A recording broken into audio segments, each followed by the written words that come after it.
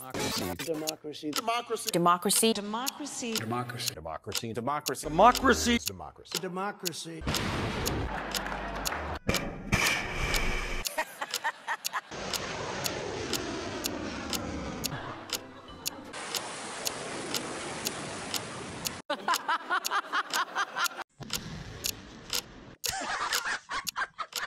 They're how we became the greatest nation on earth. What's the problem with the democracy? And I believe that after this episode you will have more suspicions regarding the existing democracy in Western countries, because I have revised my views on it, not on the democracy in general, for sure I didn't become a fan of dictatorship. Oof. Sigh relief. And I still believe that democracy is the best form of state organization for the comfort of citizens and for the fruitful economic development, at least in the current global capitalist system. I want to assure you people and assure the country the economy is now on And here I fully agree with Winston Churchill, who said that democracy is the worst form of government, except for all those other forms that have been tried already. But what do we basically know about democracy? The word democracy comes from the Greek language and literally means power of the people. That is a political system based on the method of collective decision making, with equal influence of participants on the outcome of the process. The main features of democracy are the following. Appointment of leaders takes place through fair and competitive elections. People are the only legitimate source of power, and society is self-governing for the common good and satisfaction of common interests. There are also a number of values associated with democracy like legality, political and social equality, freedom, right to self-determination, human rights, and some others, but the most basic idea that needs to be emphasized is the democracy is self-government for the common good and the satisfaction of common interests. In a democracy, the government has no right to hide what it's doing from the public. And here is the fair question, is it really so? Especially in those countries that claim they have already achieved the level of democracy they are talking about. Do these countries respect the basic principles? Are decisions being made for the common good? And here you need to understand that the common good is not the only for the inhabitants of any particular country, but for all mankind.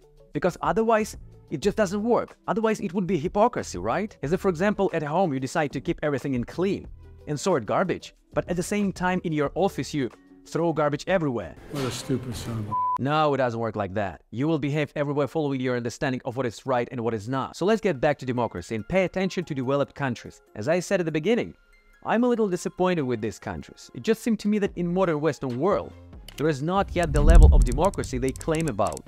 The government system is too much centralized, and the influence of the human factor is still too great.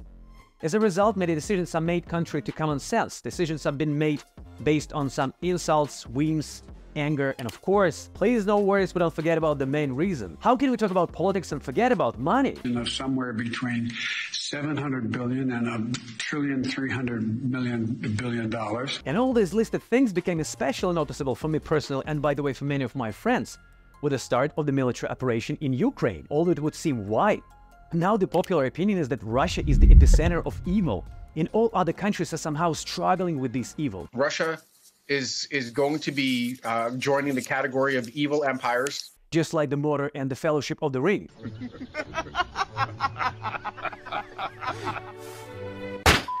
For your understanding, I'm not trying to justify anyone or say that Russia is a true democracy. No, of course I have never had any illusions about Russia in all other Soviet Union countries, including Ukraine, by the way. I understand very well that all these countries are still far from the democratic state structure. Really? But it's not Russia that now is important for us. As I already said, I have always been a very active supporter of democracy. I like the way of life in western part of the world, in the US, Canada, Western Europe, I sincerely thought all these countries were very close to democracy already, in the normal sense of this word, when decisions are made not by some individual officials based on their personal preferences, but by the majority of people, and for the majority of people, when every single decision is made on the basis that all people living on this planet should be happy. Jeez, what a baby. And therefore I relied on the experience of Western officials. I thought that right now is the time for developed countries to show everyone what the real democracy is. Time to use all the accumulated wisdom and solve this Russian-Ukrainian problem. Try to solve it for the benefit of all the people around that situation. But what I've seen and what especially is happening now just disappointed me. No. For example, let's take a look on the crisis between China and Taiwan.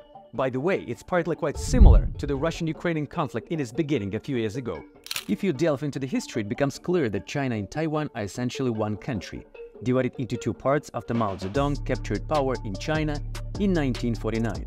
and General Chiang Kai-shek, along with those who supported him, fled to the island of Taiwan. For a long time, these countries developed independently, and finally now many people have accustomed to the fact that these are two different countries. Everyone is so used to that fact that now people are sure that this is how it should be. But has anyone asked an opinion of those people living in these countries? Maybe they don't mind uniting or even want it. Perhaps. Of course, surveys are not always 100% accurate. Everything depends on the age of respondents and their number, objective and correct construction of the questions and many other conditions. But polling results in Taiwan show that slightly more people support independence and more active collaboration with the United States than China integration. Probably this is due to the predominance of the young population in Taiwan. However, the difference is not great. On average, it's somewhere around 60 or 40. This is a bit strange that no one takes into account the opinion of people from these countries. 40% of Taiwanese do support this integration. It's almost a half. China people also positively look at the peaceful uniting, and most of these opinions are ignored by Western officials. But how about democracy? Why don't you listen to people's opinion? And the most interesting question, what are you all doing there? All American and European officials, what are you all doing in China and in other countries? This is 10,000 kilometers from your home. Why is the President of the United States, the world's richest country, spending so much of his life focused on Europe's poorest country, Ukraine? What's going on? That's a good question. Why are you so much concerned over what is happening in the rest of the world? The United States is a global power. And we actually have to be able to exercise our uh, interests and our values globally. I'm sorry, what? Miss Rice, I have to disappoint you. Your interests are limited by the borders of the United States. Take care of what's happening inside your country. Don't you have enough problems of your own? Inflation, gas problems, recession, many things to care about, solve them. Or you think China and Taiwan are not able to sort out all things without you there? Do you really think you understand better this issue, Chinese issue, than Chinese and Chinese? because just to remind you, if you forgot, Technically, these guys are one nation. But well, since you have decided to worry about this case, maybe it makes sense to help. I mean help in normal way, to make sure that the situation is resolving without any possible suffer of any single person from each side. Hmm? Maybe it would be logical to invite all representatives of Taiwan in China on the round table and discuss this. Together with them come up with a solution in which no one suffers. Not so easy. If they would like uniting, let them do it. If one side doesn't want to, then do your best to lead us to an agreement which satisfies all parties the most. That looks the right approach, especially if you call yourself democracy. Which is obviously strange. But instead of this, Western officials for some reason provoke and even escalate the conflict. American ones come to Taiwan for what? To annoy China. Why are they doing this? Yes. Really? I do. I do. Of course they have a right to do that, but at the same time they know how this issue is important for China. It's a very sensitive one. And they know this well. Why are they doing this? Why are they sending their ships and aircrafts carriers there? Why all these provocations? To start the fight? Come on, do it, do it, go, come on! I'm just wondering, adult people are making such actions, do they think about consequences? My button is bigger than yours and my button works. Remember that? People said, Trump is crazy. Oh, oh. Seriously, this can really cause a fight, and I'm already not sure what the real goal of Western officials is, because all their actions are not aimed on the settle of the situation, but in an opposite way. But maybe this is the real goal, to make this fight happen. Maybe. Maybe not. Maybe yourself. And if it will happen, it will be not good for anyone at all, neither people of Taiwan nor people of China. And this can take place, because something similar had already happened with Russia and Ukraine. In February 2014, the U.S. helped overthrow the government of Ukraine. That's that's really a crucial moment in this story. It started a long time ago. During the existence of the USSR and after its collapse, there were many discussions between the officials of Russia and Western countries about not expanding NATO's border to the east. Well, I think it wasn't a secret to anyone that this is an important point for Russian politicians, especially after the Caribbean crisis in 1962, when the USSR decided to deploy missiles in Cuba right after the US had already done the same in Turkey, which in the end almost led to a global conflict. And despite numerous statements from the Russian side not to do this, and despite this terrible past experience that almost led to a catastrophe, Western countries still continued to expand NATO's border to the east, intending to accept Ukraine into it as well. What for? Was it so necessary? And not judge from today, look at this point from the past, when it was a peaceful time, especially considering that there was a kind of agreement. NATO would not expand eastward. This is, this is beyond any dispute. People say, well, they never signed a treaty. But a deal is a deal. The United States gives its word unless we're shysters. And you look out at where NATO is and where they want to go, it's everywhere. It's everywhere on Russia's borders. The expansion of NATO is the expansion of the American sphere of influence. Plain and simple. So there has been a tremendous expansion of America's sphere of influence since the mid 1990s, right plunk on Russia's borders. It's, it's taboo in America to talk about this issue of who has a sphere of influence, who's entitled to it. Just to be clear, in no way I want to justify anyone in the current situation between Russia and Ukraine, because any military conflict is a disaster for people. I just would like to ask Western politicians, is this exactly what you wanted to get? Because no one of you really tried to resolve the conflict. Russian officials have warned many times that if something like this happens, there will be a military collision. Очевидно, процесс натовского расширения не имеет никакого отношения к модернизации самого Альянса или к обеспечению безопасности в Европе. Наоборот, это серьезно провоцирующий фактор, снижающий уровень взаимного доверия. Again, I'm not justifying, I'm just asking, what were all these provocations for? And all these questions anyhow brought me to the idea maybe the conflict is the real goal. Shame on Shame on you. Instead of trying to understand the historical reasons around Crimea and Donetsk, and on the basis of this somehow try to help settling the growing challenge, everything was done the other way around. And again, I think that military actions are unacceptable. But I'm just wondering how quickly American officials would react if Russia or any other country deploy missiles somewhere in Cuba or Venezuela. What a stupid question that is. What a stupid question. But I watch you a lot. You ask a lot of stupid questions. Sorry for the short break. Just would like to tell you that if you are, like us, a big fan of Chinese electric cars and would like to get one of them, because China now is number one in electric vehicles production in terms of price and quality. Because no matter how funny it could sound, but even German manufacturers cannot reach that level. So, if you would like to get one of those beautiful cars, follow the link in the description below and Cars of Future team will bring you any car you wish in any place you live. Good luck. I'm not hinting at anything. Just current actions make me think. American officials themselves behave far not the way they would like others to behave. Always accuse you of the very things they're doing themselves. And even now there's a feeling that everything is being done only to further enhance all the conflict. I don't see any actions to resolve the situation. The only help we see is the supply of a huge amount of weapons to Ukraine. We've committed nearly 700 tanks and thousands of armored vehicles, 1,000 artillery systems, more than 2 million rounds of artillery ammunition, more than 50 advanced launch rocket systems, anti-ship and air defense systems. But is it a help? Because this is a war. People will continue suffering. And I'm constantly asking myself, how about democracy? How about ordinary people? And again, I begin to think maybe this is not about democracy at all. Maybe this is somehow connected with the profits of American corporations. Perhaps. Or maybe that's because a huge amount of money has been sent to Ukraine without any audit. That might be a question for Zelensky.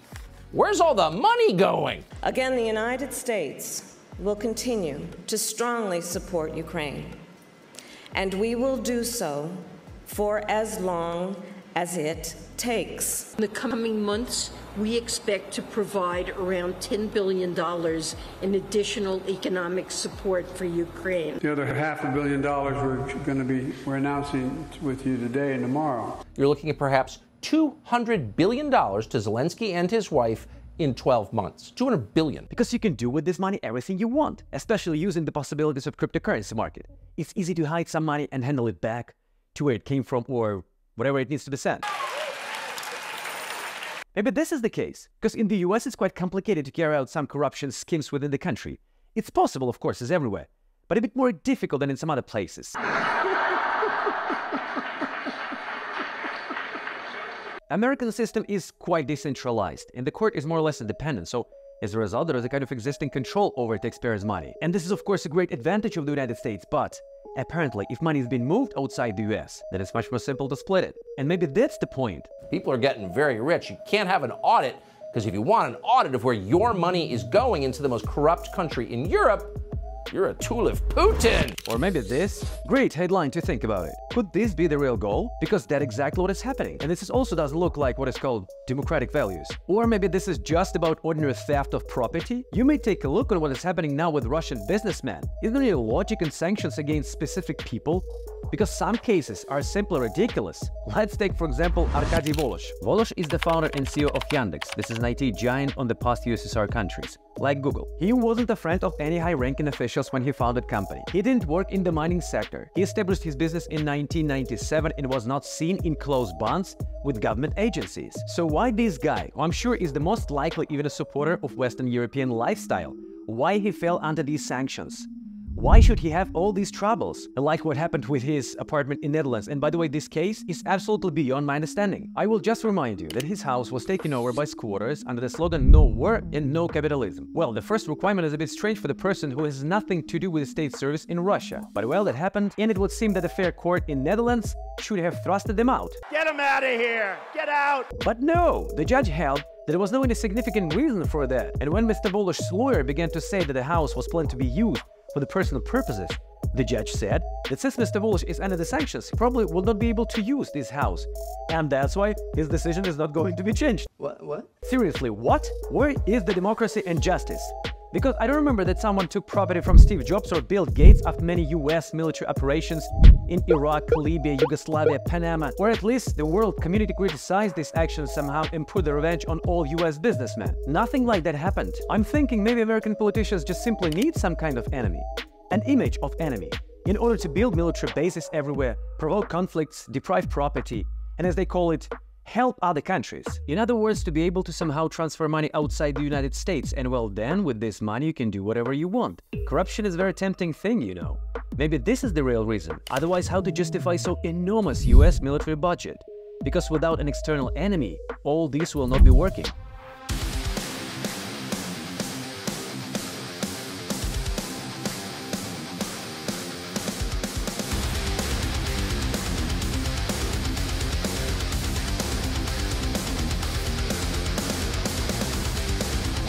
Okay, okay, I'm not insisting that all of this is true. At least I want to believe in this. But current actions make me think about it. And not only me. There are people who try to understand the roots of the conflict in order to end the bloodshed as soon as possible. Now, after what happened, of course, in 1954, in a symbolic action because there was a Soviet Union at the time, not uh, not separate nations. Uh, Nikita Khrushchev, the uh, chairman of, of uh, the Communist Party of the Soviet Union, the chairman of the Soviet Union, transferred Crimea from Russia to Ukraine. It, it didn't mean much. It was a celebration, a 300th anniversary of a treaty that uh, Khrushchev celebrated by this administrative transfer. It became consequential after the end of the Soviet Union and the independence of Russia and Ukraine. Or this guy, who has already become a victim of numerous gossips. I, I, very much disagree with that. And who honestly was absolutely correct in his proposal. Or take a look at this example. Slovakia's new Prime Minister Robert Fico said literally the following I will support zero military aid to Ukraine.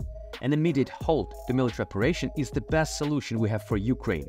The EU should change from an arms supplier to a peacemaker. I don't know how do you find this statement, but for me it sounds absolutely and totally correct, because now the most important thing is to stop the fighting. It's a little bit late to play heroism and try to return lands by Ukrainian government. It will simply lead to more deaths. Is it really worth to swap out land on life? I thought in the modern world it's obvious to everyone. The country is the people, not land, not land and people, but only people. Human life is the most important thing ever. Wrong. I thought that a time when people were so openly and cynically used for some crazy and useless purposes has already gone. I say useless because I don't fully understand the purpose of this territory return. This is a serious question, especially in connection with the fact that the most important thing in each country is the life improvement for every single person. So what is the point of the land return? To earn more money and increase an average salary in the country? I don't think these are connected things. Average salary or wealth index doesn't require land. Such small countries like Netherlands, Japan or South Korea have a pretty large GDP, although they don't have large territories or a significant amount of minerals, which in some cases could be a reason of an economic growth. In some cases, because it depends on how you manage the money from the sale of minerals. So in any case, everything will run into the investment climate within the country. And we know some examples where it was not possible to create a rich state despite the huge oil reserves, like Venezuela, or for instance Russia. Yes, it's not the poor country, but Russia is the huge country, the largest in territory, two times bigger than the United States, 46 times bigger, than Japan. Russia is the country with the largest explored mineral reserves. It's difficult to calculate, but according to approximate estimates, there are more than 70 trillion dollars worth of minerals. And what? Are Russians the wealthiest people in the world? And I mean not 25 oligarchs, but in average. As far as I'm aware, no. Because again, everything runs on the corruption in the investment climate. Only this facilitates to the prosperity of the country's economy. In capitalism. That's important note. But anyway, that's what really affects, but not the territory. That's why I cannot understand these slogans about land return from Ukrainian government, from Ukrainian officials, especially considering that for this return, they will have to pay and spend more and more human lives. The most valuable thing ever. People are more valuable than money. Any Ukrainian, American, or Chinese is worth more than all the money in the world. Any mother of a dead soldier will tell you this, and if his wife or his child. But here is a slight paradox. Ukrainian officials blame Russian ones but behave exactly the same way. They talk about the land return and force people to fight without a choice. So I really understand many young Ukrainian men who are trying to bribe border guards and leave the country, despite it's not possible during the war, because they don't want to fight and probably die. They understand that any war ends in a peace. And most importantly, if we consider what was said above, it turns out that perhaps people in Ukraine are forced to fight because this conflict is profitable for someone, for some people somewhere. So why should they fight for this? And that's a reasonable question. That's why Elon Musk is most likely likely correct in his statement. Well, I'm trying to do good things, yeah. All steps to settle down the conflict and prevent the war should have been done before. Like if you were Ukrainian president and you knew or suspected that you have a dangerous neighbor or a neighbor who is jealous to the historical or cultural values of his country, what would you do to care about the people living together with you in your country? You most likely would try to establish good relations or at least as peaceful as possible to avoid any conflicts or misunderstanding with this neighbor. You would not ban Russian language, right? Well, it's weird to do this, considering that in Ukraine more than 30% of the population speak Russian. Why not to have several languages, like in many countries of Western Europe? You would probably not forcefully crush demonstrations in regions where people have a slightly different position, right? You most likely sit down at the table with your neighbor and try to agree on everything without bloodshed. And finally, you would do your best for the economy development, of course. You would try to establish a visa-free regime with European countries and Russia, trying to invite foreign investors and at the same time trying to ensure the gas supply at a favorable price for the industry development. You likely would act this way if you want prosperity for your people. You would not provoke your jealous neighbor and do everything in an opposite way, correct? Wait, don't talk to me that way. Don't talk to, I'm the president of the United States. Don't ever talk to the president that way. But as I said, it's a bit late to talk about what should have been done. Now the best thing could be done is to stop the fight. And then officials could discuss these land issues forever. How much time they want. They may grind their tongues into powder. The main idea is that people will not die. And maybe the money that now is being sent to the war producing new weapons that have been directed to the restoration of an infrastructure. We've spent more in Ukraine, the U.S. Congress has, than we spend on all of our roads and bridges in an entire year. Build hospitals, schools, airports, set up a business. Maybe this is the real help. But we don't see all these actions from politicians. Looks like Xi Jinping is the only one who concerned about this. He announced a plan to settle that problem, and it's very pleasing. Firstly, because it needs to be finished as soon as possible and by any means possible. And secondly, because China now is a very powerful country in the economic and military sense. And I wouldn't want Chinese government to decide participating in this conflict somehow. So despite the fact that US officials accused China in lack of respect for democratic values, the Chinese government is showing maximum wisdom at the moment. They're not reacting to provocations in Taiwan and trying to settle the existing conflict, which by the way has been enhanced by countries that call themselves strongholds of democracy. And that's very strange to me that Zelensky is not doing the same. The president of Ukraine. He's supposed to be the first who should want to end this war because it's happening in his country. He should have told the Americans that instead of supplying weapons, let's focus on the negotiations and then let's restore Ukraine together. Isn't that the right goal? I know that, you know that, even Ross knows that. But no, he puts on his green t-shirt. By the way, does he have another one? Why he's always in this green one? Anyway, he goes to US Congress and talks about protection of democratic values. Seriously?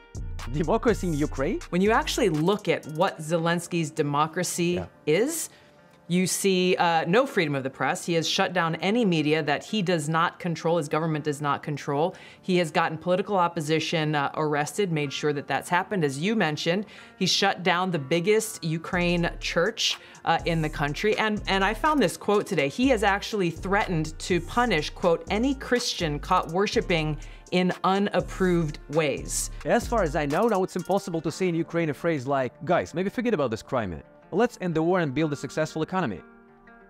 Whoa, who says that could get a serious problem? I don't know, maybe it's some kind of special democracy, but for me it looks more like a dictatorship. No more falafel for you! And I understand that this is also beneficial for Zelensky personally. Well, of course. Without all these happened, no one would even know about him. There would be just a passing president who is not remembered for anything. And now, he's a hero. Everyone comes to him. He's been called everywhere. He appears on screens at award shows. He's on the cover of newspapers and magazines. He's now a real superstar. And for sure, he will go on the second term of presidency and most likely win it. I even think that no one would dare to stand as a candidate against him. I'm not a big democracy expert here, but I don't think what's happening has anything to do with the real democracy. I'm not even talking about the conflict that has broken out between Palestine and Israel. Politicians from different countries use poor Palestinians simply as a mean of trade in their political games, because the conflict itself could have been resolved a long time ago. And again, instead of allocating huge amounts of money for the war and supporting different sides of the conflict, the entire country could already be rebuilt. But for some reasons, this is not being done, so it's beneficial for someone. The money for the war is allocated together with noble speeches. It's not just weapon, it's salvation and they say the same things to both sides of the conflict. Politicians from countries that donate weapons to Palestine say they're helping Palestinians because they're fighting for independence. Others, who help Israel, say that Israel must defend itself. But did anyone say something like, listen, maybe let's stop the war right now and start helping the people who are suffering from all this? No, it's not interesting. Well, of course, because by these actions all the wars could be finished everywhere. How then politicians will make money out of this? Thank you. Thank you very much. Of course, there have always been wars, conflicts, and they have always been caused by benefits for some specific people. Sometimes for revenge. It was in the past, and all these reasons are pretty clear for everyone now, in the present time. But the current situation suggests that only a little has changed since then. This situation has shown that developed countries are not so white and fluffy as they would like to appear. They talk a lot about democracy, but do nothing to follow the true meaning of this word. This is the most deceptive, vicious world it is vicious, it's full of lies, deceit, and deception. These are just words. In all these countries, the system still allows some selfish goals and interests to prevail. And hiding behind good intentions, terrible things actually happen. We don't want to insult anyone or hurt anyone's feelings with this release. This is just a critical thinking. We're asking questions, reasonable questions, and I think that more people will ask such questions, the sooner current conflicts will end, and maybe other potentially possible collisions will hopefully not begin.